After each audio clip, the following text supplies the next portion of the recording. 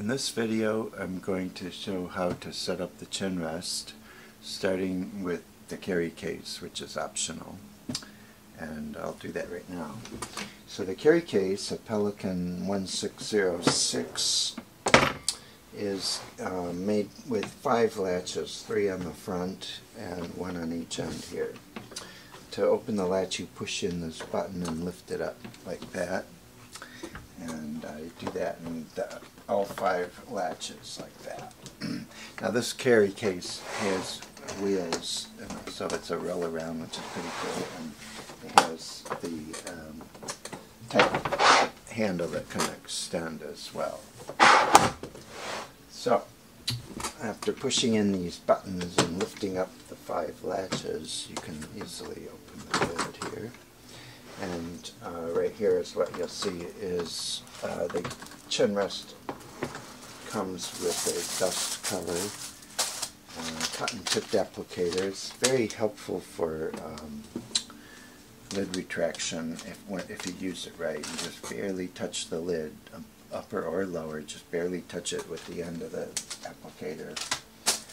And uh, there's also a new uh, alignment target and this uh, is to help align the camera and the illuminator because the chin rest has a, a, chin cup right at the center and this can go in place of the chin cup and it has two eye pictures approximately the standard distance 65 millimeters about two and a half inches interpupillary distance and it also has a target at the front. That's an accessory. These are the three accessories. Then on the top layer is the base, and that just lifts out. This is an 11 by 14. It can also be made white, although I think uh, wood grain is better, it wears better, and doesn't hurt the environment as much. Um, also then here on the top is the height adjuster, which is this component that goes at the bottom that will go down here. And second is the lateral slider and it has a tension adjustment knob right here, this white. And then after that, you take out the whole foam layer like this. Then the second layer you'll see uh, the focus track. It fits right in there with the knob going down just like that. And now then this middle layer of the three layers comes out. And as you can see it just had this opening for the focusing track in it. And on the bottom is the chin rest itself, and that just comes straight up like this. So that is the chin rest there. Now um, I'm going to put these foam layers back where they go.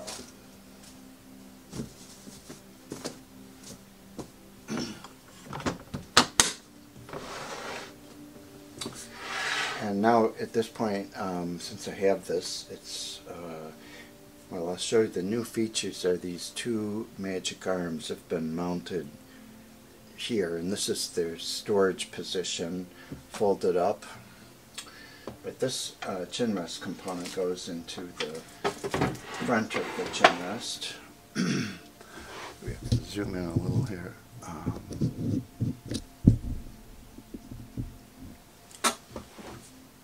so the forehead and the chin, chin rest face outboard, outwards towards the client. Is slid in here. And then you, you uh, put your thumb and forefinger here to tighten it like so. And just get that nice and snug. And then um, the three XYZ positioner components are right here. So this is the vertical, this is lateral, and this is the focusing track. And with this chin rest, you put this on first, the, the larger, heavier unit, and it has an adjustment knob. It also has uh, arrows to mark their standard reference position uh, where when you keep it there and put the cam camera together then the camera will be right at this 15 and a half inches above the tabletop base. And so I, I slide that all the way in flush both ends and tighten this. now, um, the 15.5 inches refers to the eye line, uh, the height of the eye here. And um, this is approximately where you want to start off with the client's eye when you are adjusting the chin cup. And it doesn't have to be exact because this is only going to go to a millimeter or two. And it has a ratchet and a tension adjust here. So it takes a little getting used to. But you adjust that until the client's eye is right there where the black eye line mark is. That's 15.5. And with the, the height adjuster in the standard reference position, when everything is put together, the camera will be right at that height. The lens axis will match that 15.5 inch height. So the second component for positioning is the lateral slider and that also goes in. And again, uh, it may be shipped with a bit of a tension, but you can choose how much sliding tension to have. This unit is the last one, the focusing track is new and improved. Very smooth mechanism. It can go either way, but I like to do it opposite of the previous uh, knob. I can orient the knob on either side. And then after that I tighten over here. And that's all there is. Now, um, again with this one, there is the new feature of these uh, illuminator support arms and they can be put in their down position out of the way. until you decide to use them. They takes a little bit of time to get used to these arms, but after a while you'll get the hang of it.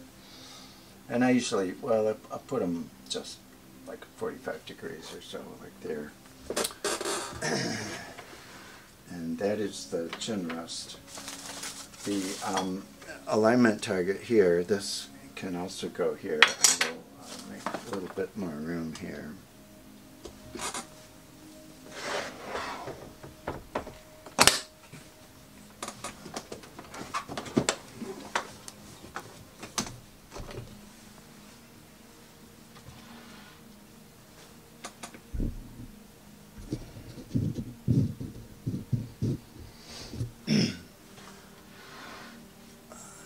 well, the is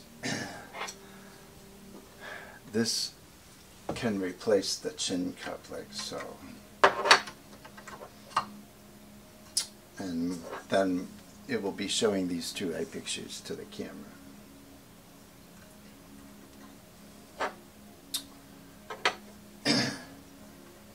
this is a half inch mounting post here.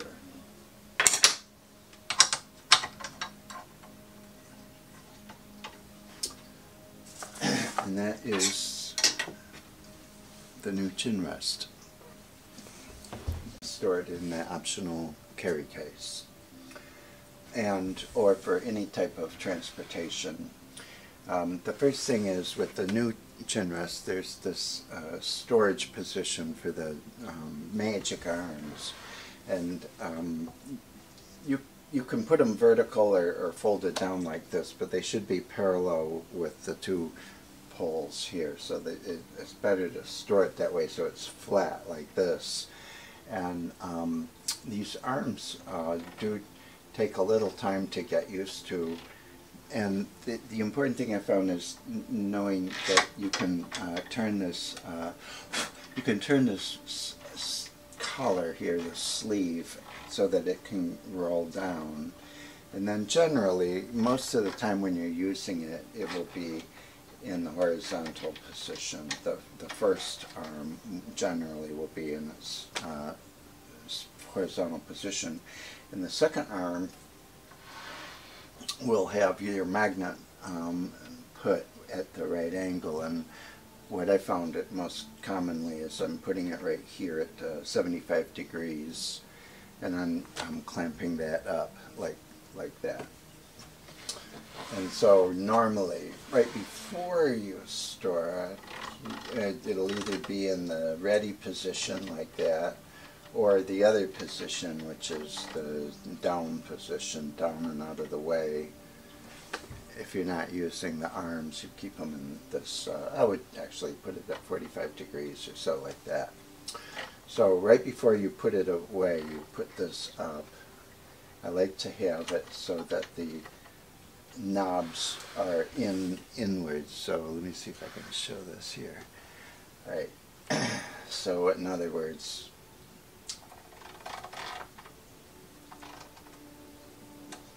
and I'll um, just to, to save space, I'll run this up into its notch. The magnet gets into the notch, and then this get these two get parallel, and they're parallel to the outer pole. And I have the knob facing to the center of the chin rest like that. That's perfect. And do the same for the other side. Let me see how you can see this best. Right here, perhaps. Right there. So I loosen this knob and bring it up like so. Then I'm going to slide that into the notch to give it a, the ability to have a 90 degree angle. And then I'll get it parallel like this with the knob on the inside and then I'll just torque it up. And when you tighten that, it'll hold a lot of weight. It'll be very strong because there's a rosette in there with little grooves at every six degrees and between that and the ends clamping down with one tight turn you can get those arms to stay. So that is the storage position. and then um, generally just a half a turn of the knob is enough to free it up for easily to slide that out. And at this point I'll show you the uh, carry case. the carry case has three layers of foam. This is the top one with the three holes in it. And the middle layer has just two rectangles. And the bottom layer, you don't normally take that out. It just looks like uh, the shape of the outline of the chin rest. And it also has this square piece that goes right in the middle. So this is where I'll uh, zoom out a little bit. So um, the chin rest is going to go into this shape and this is the bottom by the wheels. But before you put it in, you put this rectangle down here. You See how that is? And it will go like so.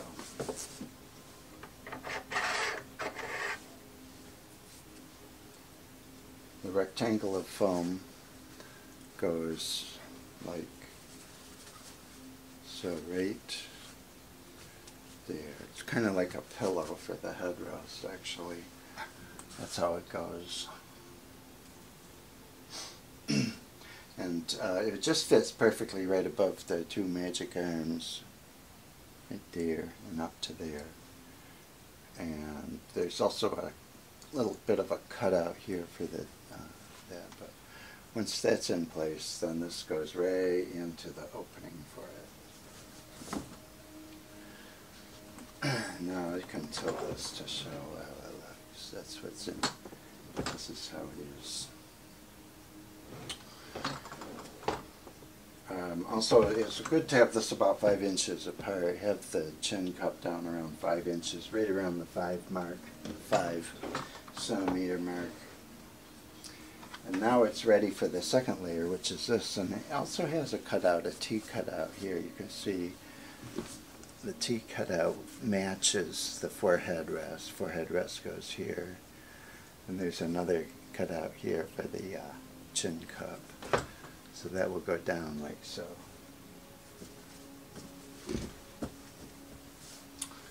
Alright, mm -hmm. that's what it looks like. Now this big square holds the translation stage and to remove that you just loosen this again. About a half a turn is good. And uh, this is it. And you go knob down. There's a, a space right there. Goes straight down like that. And now for the third foam layer, that goes right here. This is how it looks this time. There's the focusing track. Goes knob down in that um, place. And this is for the slider, which is next. So to take the slider off, I just loosen this about a half a turn or so and bring it back here. And uh, you can see this unit here. and that this goes upside down.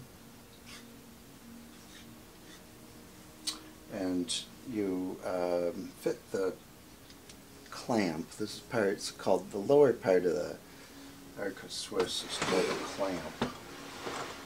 The upper one is called the plate, but uh, let me see if I can show this here. Clamp here is up, always up. However, when you store it, it goes down. And so to do that, I put it here. And this one just rests on top here. So that, that's how that goes. And for the third um, XYZ, you loosen this and slide it down.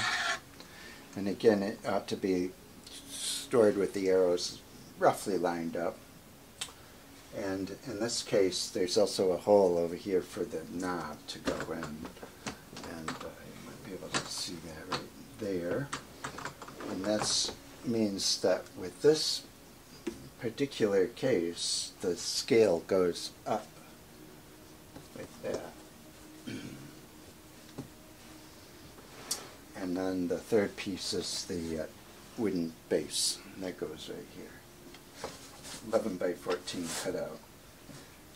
Some of them are 10 by 14. This one's 11 by 14. And then uh, generally uh, you would want to put your alignment target here, the back in place. Cotton tipped applicators. And the dust cover, if you're traveling you may as well bring the dust cover. So that's how that works and then this shuts and then you latch it.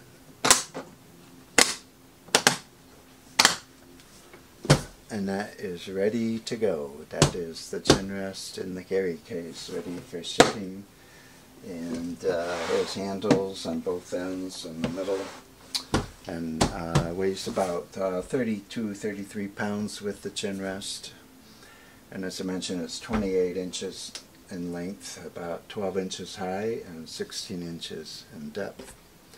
It's uh, it's a good case if you need to travel, but uh, most people don't travel, but if you do, that's a good way to go.